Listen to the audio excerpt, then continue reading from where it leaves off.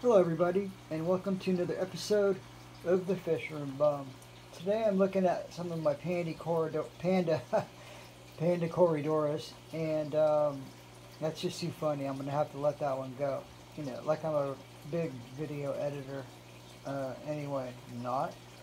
Um, anyway, so I'm checking out my Panda Corydoras and I do think that they are trying to spawn this is pretty typical behavior.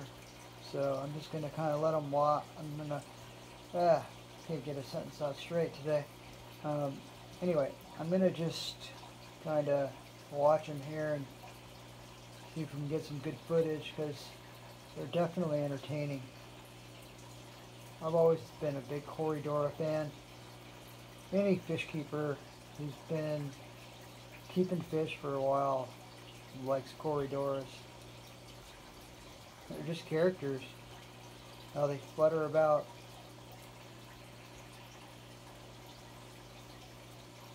They are cute little guys and girls.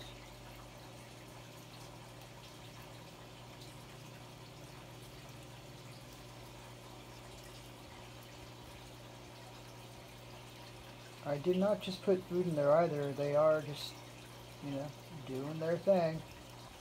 With all my zebra danios in there.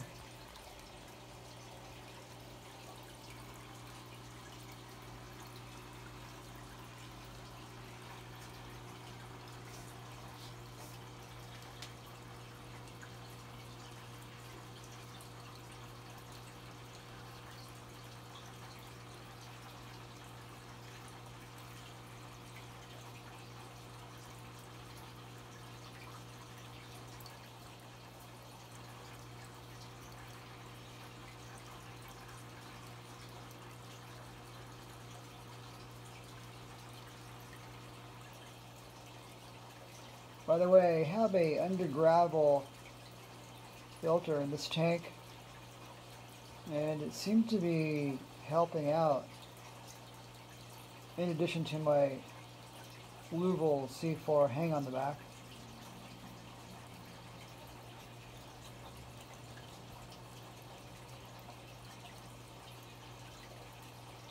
Alright everybody, thanks for tuning in and until next time, this is the Fish Room Bomb signing off.